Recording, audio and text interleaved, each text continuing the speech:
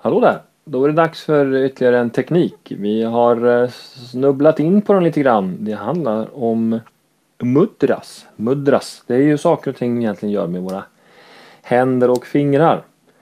Om man nu vill tro den yogiska filosofin och eh, sättet att beskriva människan så är vi inte bara kött, blod, ben, lever, njure, allt det där, blodomlopp, nervsystem som vi får lära oss i den traditionellt sett västerländska anatomin utan vi är enligt den österländska anatomin också bestående av energi. Att det finns energikanaler som löper liksom precis ungefär som du tänker dig ditt eh, blodomlopp. Tusentals eh, små stora energikanaler som löper längs din kropp.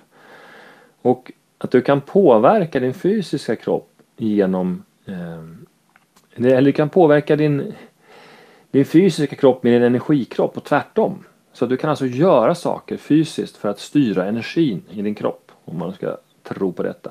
Och mudras är en sådan sak. Till exempel så om jag då sätter tummen mot pekfingret där så kopplar jag ihop två energibanor kan man säga. Och de övriga tre är aktivt sträckta. Det här kallas för Gyan mudra.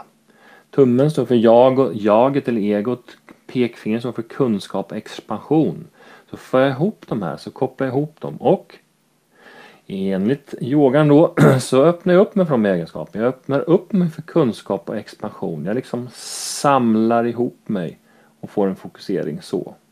Sen kan man göra olika muddrar. Det finns hur många som helst med olika saker man gör. Men syftet är att du styr och påverkar energin med din, i din kropp med hjälp av att göra mudras. Här kan man läsa hyllmeter rad upp och rad ner om olika tekniker. Men vi nöjer oss med detta nu. Gyan mudra, den vanligaste. Tumme mot pekfinger, vi har tre aktivt sträckta. Och där har vi den. Mudras.